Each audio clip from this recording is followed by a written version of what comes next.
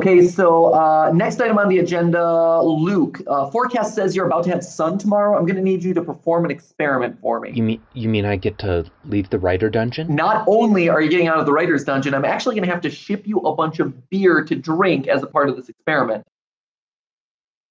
Luke, you okay? Uh, uh, honestly, if you're not comfortable with that, that's totally fine. I'm sure one of the other researchers would be more than happy. No, no, no, no, no, no, no, no. I could be convinced.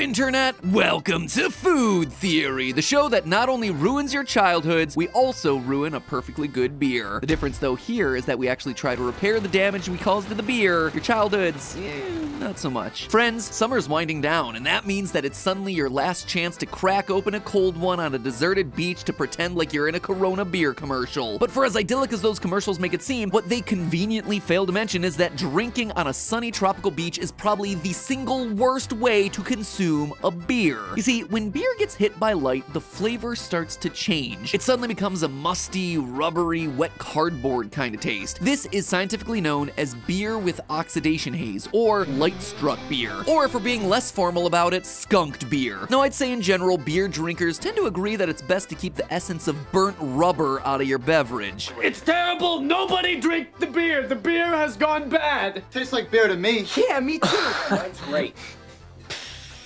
And if you're into that sort of thing, then go ahead and do the exact opposite of everything we're about to show you in today's episode. Because today, we're using science to unskunk your beer. That's right, today's episode is gonna make my 11th grade chemistry teacher, Mrs. Chandler, so proud because I'm using science to keep your summertime buzz going. Today, we're not just preventing your beer from tasting like cardboard, we're outright reversing it. We are literally bringing your food back from the dead like some sort of lame Dr. Frankenstein. So if you thought I was gonna pass up a chance to resurrect your half-dead Heineken, your past Pabst, and your bygone Budweiser, well, you've got another thing coming. We're here to keep your last days of summer from becoming a bummer, so pull out your titration sets and let's hops to it. Now, to reverse the process using science, we actually first have to just understand the process scientifically. So how exactly does light change the way a beer tastes? The molecule that's key in the process is called 3-methylbut-2-ene-1-thiol, but thankfully for all of us, it can also be shortened to 3-MBT. 3 MBT starts being detectable to human taste buds at about 4 parts per trillion. So it does not take a lot of this stuff to make your beer taste bad. Now, 3 MBT isn't in beer to begin with. It actually gets produced when light hits the beer and triggers a series of reactions. I'm not going to stand here and bore you with all the full mechanisms, though if you do want to pause it right now, you can absorb it all and knock yourself out. And find a secret message. But for the TLDR version, sunlight triggers a reaction between molecules present in the beer, which creates half of the skunky molecule. That molecule then attaches to a detached part in the bitter hops molecule of the beer to create the full skunky molecule 3-MBT. When their powers combine, they ruin beer. And already we're in the process of disproving one major myth about skunked beer. It is not dependent on heat. A persistent rumor exists that beer gets skunked as it gets warmer, but science tells us that unless you're boiling and freezing your beer, changes in temperature shouldn't be affecting the taste on a chemical level. Nope, this one is all about light. Now, beer that's left in the sun becomes warm, which is why there's a correlation between the two happening, and to be fair, heat does tend to speed up chemical reactions, but without light, the skunking shouldn't be happening in the first place. And to prove this, I let theorist team member Luke out of his writer's dungeon. I, I mean, a fully furnished basement that definitely has windows and everything, and is totally not a prison where I keep people to write re research scripts. And let me tell you, Luke was more than excited to carry out a series of what I like to call experiments. Experiments? Word, it's beer ex, ex beer amends. Please acknowledge how funny I am, thanks. The first test was to see just how fickle beer is when it comes to sunlight. Luke took three bottles of Corona, he placed one in direct sunlight, he placed another in shade, and he left one inside a cardboard box where no light could reach it at all. After leaving the beers out for 10 minutes, he gave each one a blind taste test. The bottle that received no sunlight had no hint of skunkiness, whereas the shaded bottle had a little, and the direct sunlight bottle had a lot. Yeah, very different. I'm honestly pretty surprised that like just 10 minutes in the sun can change the taste this much. When you taste the Sun one back to back against the one that was in the box, it's just a striking difference. I also wanted to know what role temperature plays in skunking beer, if any. So I had Luke carry out a second experiment in his dungeon, in his basement, away from direct sunlight. He prepared three different beer baths, one cold, one room temperature, and one hot. He then bathed the bottles for 10 minutes and gave them a taste. Temperature aside, I can't tell a difference. They all have the exact same taste. The funny thing about this is Matt's making me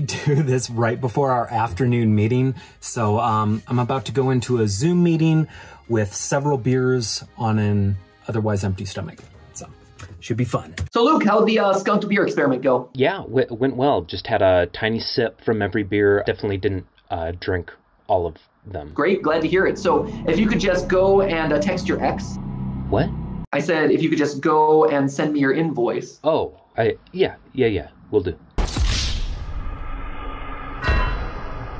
In short, the takeaways from these initial tests were A, sunlight can change the taste of your beer in a big way. B, those changes can happen very quickly. C, temperature does not change the taste of beer on a chemical level. And D, you shouldn't text your ex while you're buzzed. You broke up for a good reason. So now, having confirmed that light is indeed the X factor here, let's focus on that. Cans of beer obviously are going to do the best job of blocking out light because they're opaque, but many people prefer to avoid them because of their metallic canned flavor. For a purer taste, most people instead prefer to use glass bottles. Even then, not all bottles are going to be created equally. While it's true light causes the skunking process to happen, it's actually the blue and ultraviolet wavelengths of light that have been shown to skunk beer the fastest. These are short frequency waves with a length between 350 and 500 nanometers, which means that the color of your beer bottle is actually going to make a significant difference in the skunkiness of your beer. Brown glass should be very effective at blocking out blue light as it blocks pretty much all light below 500 nanometers. Green glass should be slightly less effective at blocking out blue light because it only blocks light around 400 nanometers in length and less. And uh, clear glass is obviously the worst, and it'll do about just as much work protecting your beer as my partner Dustin did for our 7th grade earth science projects. Yes, I still remember Dustin. You're welcome. Now, we wanted to show how exactly bottle color affects skunking in the real world. So we set three unopened bottles of Corona underneath three different colored glass vases, one clear, one green, and one brown. We also left a bottle inside the box as our control. After 10 minutes in the sun, Luke subjected himself to a blind taste test to see if he could tell the difference. I only know the identity of the beer that was in the box, our control beer. The other three that were under the colored vases have been mixed up by camera woman Kelly here, so I'm going into this blind.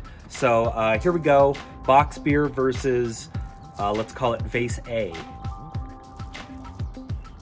Okay, yeah, these these are very similar.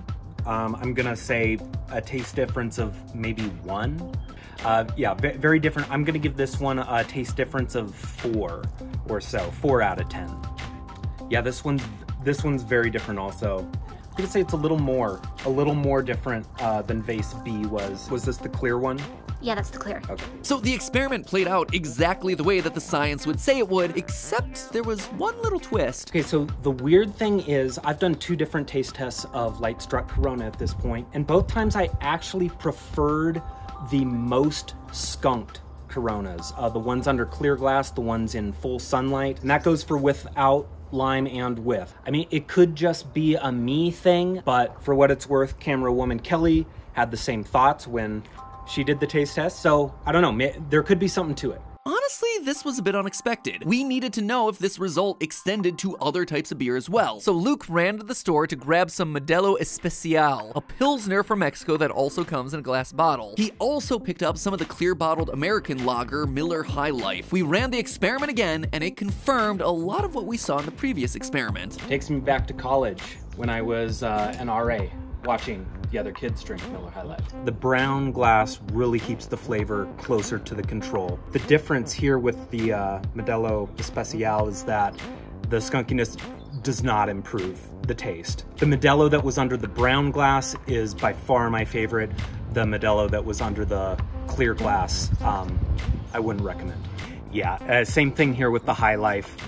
Skunkiness is not a good thing here like it is with the Corona. So in the end, we were able to confirm what we had suspected all along, that skunked beer is generally a bad thing. But the Corona results did bring up an interesting point. To certain palates and certain beers, a bit of skunkiness can actually be a good thing, which kind of made me wonder, is Corona playing 4D chess here? On one hand, I wanted to drag them through the mud because their marketing strategy is all about drinking beer in the worst vessel and in the worst location for beer skunking. But maybe, just maybe they've designed the beer's flavor to be complemented by some skunkiness. I mean, the term corona refers to the outermost ring of plasma on the sun, which gives it a ring-like crown, so it sure feels like they're invoking the sun in a super deliberate way. Maybe they're also invoking it in the matter of their recipe. You win this round, Corona, but I've got my eyes on you. Still, the fact remains that not every beer is gonna be improved by skunk. Some of your favorite summertime beverages come in packages that are downright awful for summertime enjoyment. So what's a thirsty theorist to do? He turns to science. And thanks to the Master Brewers podcast, we had heard about a way to potentially unskunk light struck beer. You see, copper is an element that's been used in the wine bottling process for many years to help reduce hydrogen sulfides that arise because, well, it makes the wine smell like rotten eggs. Saria Brewing Company's Catherine Vila, a recent guest on the Master Brewers podcast, reasoned that since 3-MBT is a sulfur-based molecule, copper might be helpful in neutralizing the 3-MBT in beer, just like it's helpful in neutralizing the sulfides in wine. So the folks at Saria gave it a try, and they claim it actually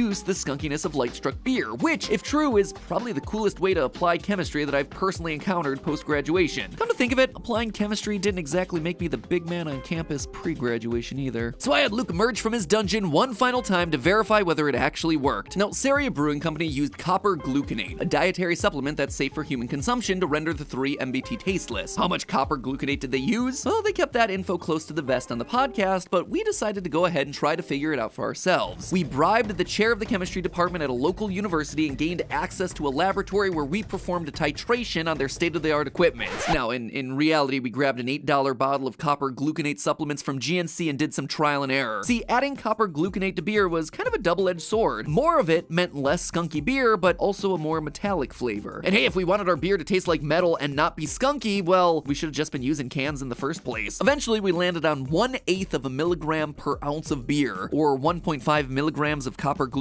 per bottle, as being just the right amount. It's not back perfectly to its original unskunked flavor, but it's a whole lot less skunky than it originally was. And even with that copper in there, it's less metallic tasting than Corona in a can. And with that conclusion, friends, we achieved exactly what we set out to do. We eliminated the skunky taste from light struck beer using science. Huzzah! For once, a theory channel has completely repaired the damage that it caused. Well, almost completely anyway. Even if you have copper gluconate handy, your best bet for a skunk-free summertime brewski is still just avoid getting it skunked in the first place. That means drinking from a brown bottle in the shade if possible, or if you've achieved your final dad form and no longer care about looking cool, you just pick up one of those zippered bottle koozies that completely block out the sun's rays. So take note, all you beer brands out there, if you ever decide to chase the tragically uncool scientist market, your ad should look a little something like this. Except you, Corona, don't you change a thing. But hey, that's just a beery. A food beery. Cheers. Theorists, as always, thanks for watching and thank you for subscribing to the channel. We just crossed the 3 million mark last month and we're now setting our sights on 4 million. We don't do too many alcohol related episodes here on Food Theory, but since you watched all the way through to the end of this one, I can see that you have taste. That's why I'm serving you up a sophisticated suggestion, our episode on wine glass shape. They may tell you that shape doesn't matter, but it does. It really does. So go ahead, check that one out. Don't text your exes, and I'll see you all next week.